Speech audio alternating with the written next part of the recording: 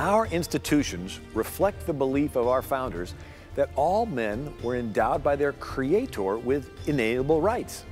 They believe that human institutions ought primarily to help men develop their God given possibilities. Thus stated Secretary of State John Foster Dulles, who was born February 25, 1888, in the home of his Civil War general grandfather. A graduate of Princeton, John Foster Dulles studied law at George Washington University, was an Army major in World War I, and a U.S. Senator.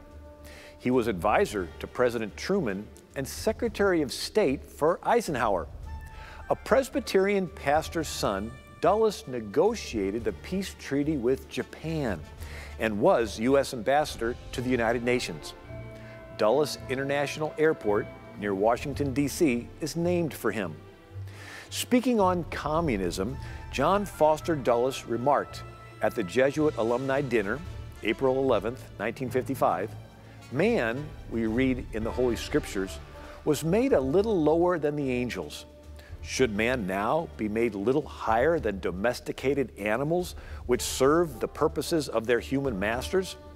So men face the great dilemma of whether to use force to resist aggression which imposes conditions which violate the moral law and the concept that man has his origins and his destiny in God.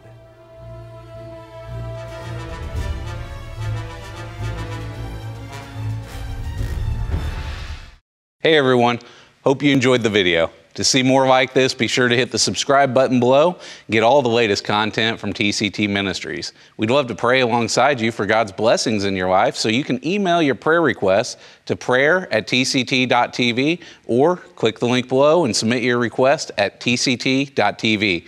God bless you and thank you for watching.